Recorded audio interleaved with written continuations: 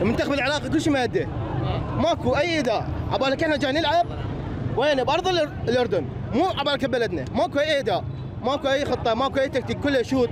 شوت كله. من جزاء وشوت. هذا لعب لعب بيه الشوط الأول. يعني شاف ما تناسق الفريق بيه.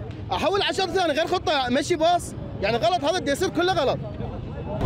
آه، أداء مدرب كاساس طبعا اليوم كلش ضعيف. يعني كان من بداية اللعبة شاف الأخطاء. الفرص الضائعه ما حاول يعالج الموقف يعني ما حاول يعالج الموقف. ليش؟ زين إحنا اللعبة عندنا ويا الاردن اللعبة تحدي وكليتنا نعرف إنه اللعبة اليوم تحدي. أنت غير يعني تضبط حساباتك. آه شو اسمه هذا؟ ميمي ليش ما نزل من البداية؟ منزله ب 87 وشفت شلون؟ صنع فرص يعني قوية. كان المفروض ينزل من البداية. الخطة كلها غلط يعني كاسياس مو ما عنده مستقبل للعراق.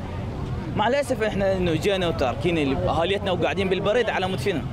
على مود الطابة غير بالتالي فرص بس ضايعة وماكو أي علاج. مباراة كلها قوة بدنية وماكو تشكيلة الشوط الأول كلها غلط. يعني مصطفى سعدون تباوع عليه. أنت من ذيك اللعبة شفت الجمهور والمحللين كلهم يحكون عليه. أنت منزله ظهير أيمن. شفت اللعب كله عليه. وأنت لاعب ثلاثة ارتكاز. أدري ثلاثة ارتكاز منو دا تلعب ضد البرازيل؟ ماكو هيك يعني منطق تشكيلة كل لعبة تشكيلة. زين هذا شلون ينسجم؟ لاعب يوميا يلعب ويا لاعب. انت هسه فرق شعبية تلعب لك يوميا يلعب ما تفتهم. شوت سنتر شوت. لعب تعبان ماكو فحرامات يعني هاي والله تشوف الجمهور هاي. ماكو يعني النتيجه سلبية هاي باعتبار خسارة. حصلوا نقطة من ملعبك. انت راح تروح بملعبهم هناك يلعبوا مرتاحين هم عليه ما أدري صعبة يعني.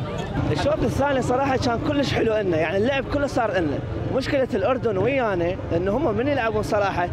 يصير إحنا ند كلش ند لهم وإحنا هم ند لهم يعني الطرفين المشكلة إحنا هم عندهم بس خط الهجوم هو القوي لكن هم متكترين على ايمن حسين يعني هاي مشكلة صراحة.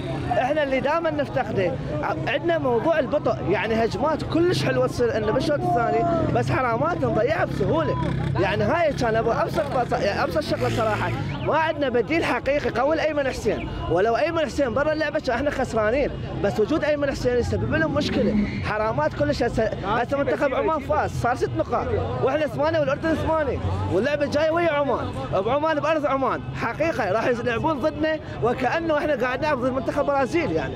راح يلعبون ضدنا لعب كلش قوي. يعني حرامات إحنا هاي فرصة اذا إذا إحنا ما نحصل على المركز الثاني كلش راح نوقع بموضوع صعب بالملحق. شكرا جزيلا.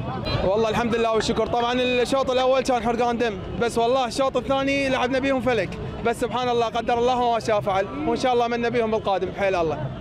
مدرب كاساس يعني مدرب زين. بس أنا أقول لك يفرضون عليه لاعبين زين اللي هم ميمي يعني ميمي ما يستحق يلعب. عندك عندك علي الحمادي بالدوري الإنجليزي أحسن من عنده. زين وبالإضافة إلى عندك النص بالبداية بخلل. انت قاعد تلعب ثلاثة نص مدافعين. فما تقدر يعني ما المهاجم بوحدة ايمن حسين ما يقدر كل شيء يسوي. هسه لو تجيب أقوى مهاجم بالعالم خليه بالهجوم ما يسوي شيء زين؟ والدفاع مالتنا هم مو زين. والتبديلات مالته الشوط الثاني هم شوية بيها شك. يعني المفروض زيدان اقبال ينزله بالبداية بالتشكيلة الأساسية. صح لو لا؟ صحيح. وبعد من ينزل لك؟ آه، مصطفى سعدون المفروض ما يسحبه أصلا ولا يسحبه منتخب ولا يجيبه من المنتخب. يعني أنت شنو ساحب لمصطفى سعدون؟ وعايف لي هذا مصطفى ما منزل ليش؟ يعني هذا غير شغل كاساس لو شنو؟ والله كاساس ما ما له علاقة. أنا أقول لك إياها من الأخير. هاي الأعضاء الاتحاد يفرضون عليه أسامي يجي ينزل لك تشكيلة كل شيء ما ما عليه الرجال. يجي يلقى أسامي تشكيلة جاهزة. هاي كل المنتخب.